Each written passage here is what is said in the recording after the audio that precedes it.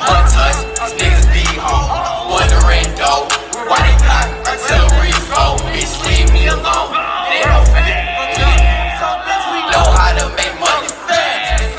Okay, it looks like we have a home beat between Alabama's natives, between Luh Soldier and YBN Nahmir. As you guys can see in the video, YBN Nahmir, he had a show in their hometown of Alabama, and Luh Soldier came and basically had a stare down, you know what I'm saying, between the two. You know, people on social media trying to clown little Soldier saying, how you gonna pay front row tickets to a show to come see your enemy? You just stare them down. You ain't, you know what I'm saying? You ain't do nothing about it. You ain't see about them or whatnot. And to Luh Soldier's point, he was saying he came to the show to see what YBN Nahmir stand on what he was talking about in the records as far as they dissing and going back and forth and whatnot. And this is what he had to say about this situation. Big soldier back in this bit though, man. Y'all know what going on, man. Just to there, clear up all the lame shit that happened yesterday, man. You know, all the little lame man blogs and shit. They trying to paint pictures and shit, man. You know, that's really just the rap game, man. It's a bunch of motherfuckers trying to paint a picture and shit. Until niggas like me step in that motherfucker, man.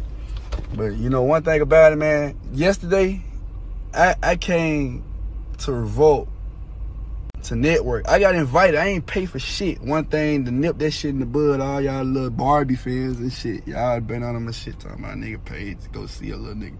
I ain't paid to go do shit. I went to go network, meet my nigga P Diddy. Got down. I'm trying to got down, chop it up with Sean now, man. Y'all motherfucking tripping out. I hear in the name.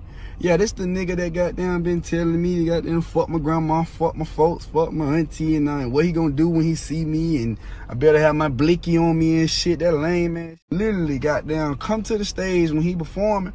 I ain't say nothing out the way. I just wanted to hear, you feel me, and, and, and see what the fuck the nigga was talking about. That's all I was doing. The nigga talking about what he gonna. And one thing about it, I ain't come check no fuck nigga about no goddamn about being front runner for Alabama or whatnot, man. I just got down came to got down see if the nigga gonna stand on what the fuck he had to say about me. Cause once you you threaten violence to any one of my folks, nigga, like shit, nigga, it's whatever, nigga. It's, I don't give a fuck about what you're talking about, none of that shit. What you rapping about, I don't give a fuck.